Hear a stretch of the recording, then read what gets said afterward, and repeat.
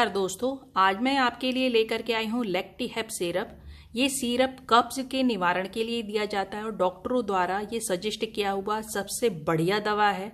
आज मैं इसके उपयोग के बारे में बताऊँगी और इसके साइड इफ़ेक्ट के बारे में भी बताऊँगी।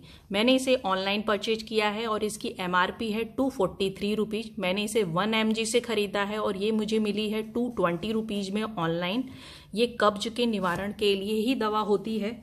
आज मैं आपको इसके बारे में डिटेल बताती हूँ कि ये कैसे वर्क करता है। इसके वर्क करने का प्रोसेस ये होता है कि ये हमारे आंतों में पानी की कमी को ज़्यादा से ज़्यादा पानी पहुंचाता है, जिसकी वजह से वो हमारे मल में मिक्स हो करके मल इजीली निकल जाता है और कब्ज की समस्या नहीं होती है। इस सिरप का उपयोग डॉक्टरीय सलाह से ही करें।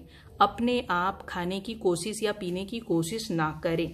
और इस सिरप को भोजन लेने के बाद ही करना चाहिए। और इसका जो डोज है, वो 10 इस इस ड्रिप में दिया हुआ है 10 एम है, कम से कम।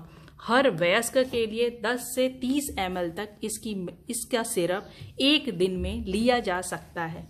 वैसे तो इस मेडिसिन का कोई भी साइड इफ़ेक्ट नहीं है। कभी कभी मामूली केसेज में उल्टी जी मिचलाना ऐठन, सिर दर्द, पेट फूलना हो सकता है। इसी वजह से इसको डॉक्टरीय सलाह के साथ ही लेवें। और इस दवा का उपयोग ज़्यादा ना करें। एक बात का और ध्यान दें, इस दवा को उपयोग रात में सोते वक्त करना चाहिए, क्योंकि इसका प्रभाव छह से आठ घंटे में होता है और सुबह तक इसका असर दिखाई देता है। इस दवा को छोटे बच्चों और डायबिटिक पेशेंट को नहीं देना चाहिए। धन्यवाद दोस्तों। यदि आपको मेरी जानकारी अच्छी लगी तो मेरे चैनल को लाइक और सब्सक्राइब करिए। Thank you.